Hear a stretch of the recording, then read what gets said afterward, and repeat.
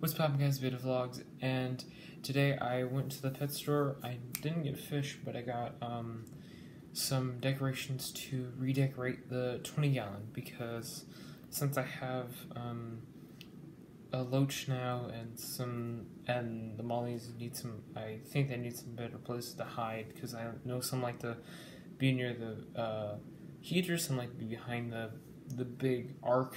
Um, and the loach likes to be under and in around places.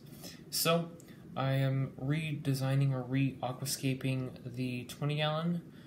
Uh, so yeah, here are the all the all the decorations I used, or all the decor that I bought, I should say. I Alex plants because they got some etched them. They're pretty tall, so they'll reach probably to half about the tank.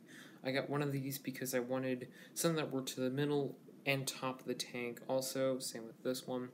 Um, and I wanted the other two, the first two, to stand out. Got some more rocks because I need some more height in the tank than I do now. These are pretty cool. I'm going to make some uh, pathway or river, uh, river pretty much, uh, with the bridge. Um, it's going to be pretty cool. Uh, these are cool because they're stackable, so I can use them or stack them however I want them. And then a house to basically as the main uh, decoration of all.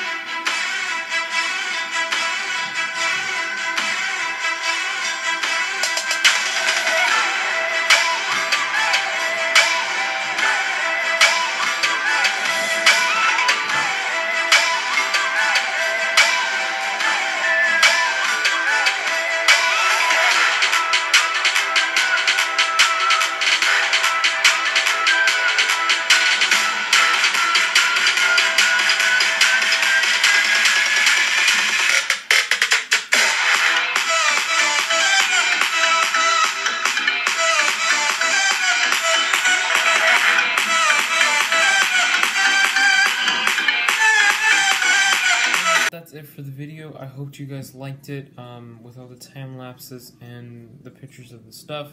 Voiceovers, it's one of the most, probably one of the most intricate videos I've made uh, in, the, in the past couple year, uh, past couple months right now, with everything going on um, in the video. So I hope you guys like it. Uh, leave a thumbs up if you like this video. Comment or suggest do anything wrong, and subscribe if you're new here. Bye. So the tank is uh, cleaned or redone. It's really cool looking. Um, the fish over here, you can't see them. Well, I'm not going to do that. I don't want to disturb them. But I'm going to put them into the tank, and yeah, let's let's hope this goes well. So, lid off here. I what I am intending what I am intending just to do is just take the tank and pour the water into it because that water is already the same water that um, was in here before, so I think that's what I'm just gonna do. With because I don't want to disturb him too much. As of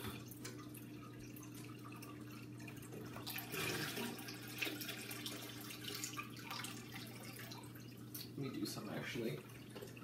I'm going to pour them, which kind of sounds a bit scary to me, pour them over the house, which is right here. One reason and one reason only is because I don't want to mess up the the the tank. Which is